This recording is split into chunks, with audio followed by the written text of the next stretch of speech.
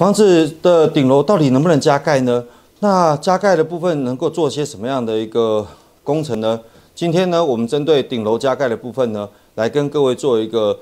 呃这个知识的一个解答跟分享。大家好，我是宏杰设计的设计总监张一德。现在就是有呃观众提问的问题哦，就是说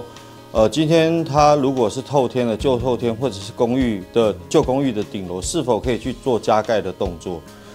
呃，不管是透天或者是旧公寓，其实，在建筑法规来说，因为这个都是在原始的使用执照核发的时候是没有存在这些东西的，所以基本上来说是不能够做任何的加盖动作，因为在法规上是完全不允许的。两个原因呢，第一个就是不符合这个消防法规，因为它有可能会影响到救灾、消防防火的这个救灾的问题。第二个是结构的问题，因为老房子你如果在做任何的加盖动作，可能会造成。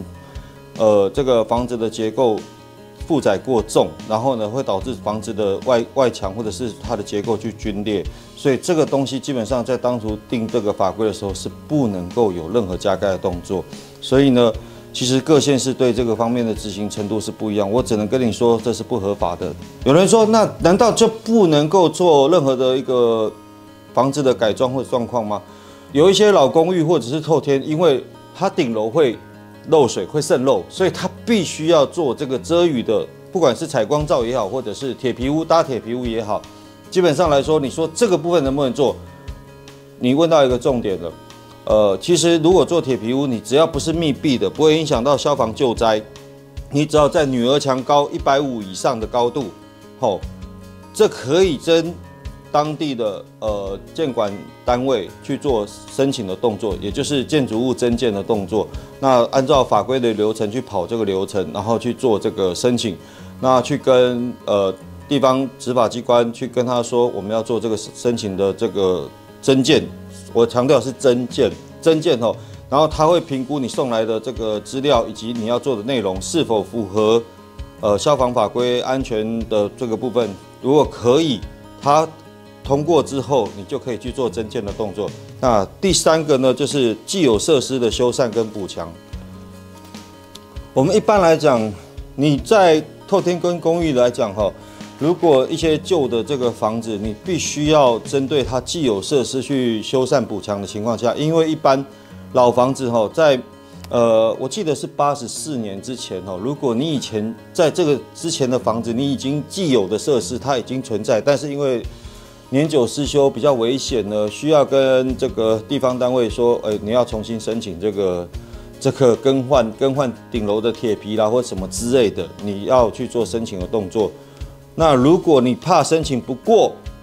那有什么方法呢？那就是在既有的顶楼铁皮之下，我们在做这个另外一层的包覆。那也就是说，从外观看起来还是原来旧，但实际上内部我们已经重新改装过了。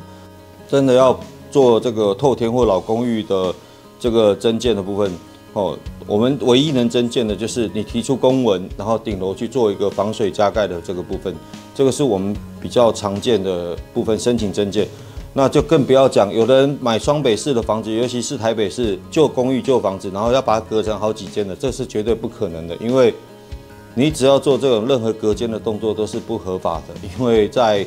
不管是呃，结构啦，或者是呃消防安全来讲，都是不太可能申请得过的。所以，如果你要买一个双北式的房子，要把它隔成小套房要出租，我可以跟各位说，这个部分就不要去做这个这个打算，因为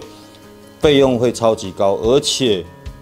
通常等你做好之后，人家一检举，你就要拆掉。而且现在是只要是违建的部分，他们通常就是即报即拆之外。还要再先罚款，这样。所以如果说您针对旧透天或者旧公寓要做这个增建的动作，哦，你们就是要去想一下是否可以去做这样的一个动作，以及呃，先跟设计师讨论一下，然后先去咨询当地的这个主管机关，哦，提供这样的一个资料，先做咨询。如果确定可以，那我们再按照流程去跑流程。那今天的针对这个。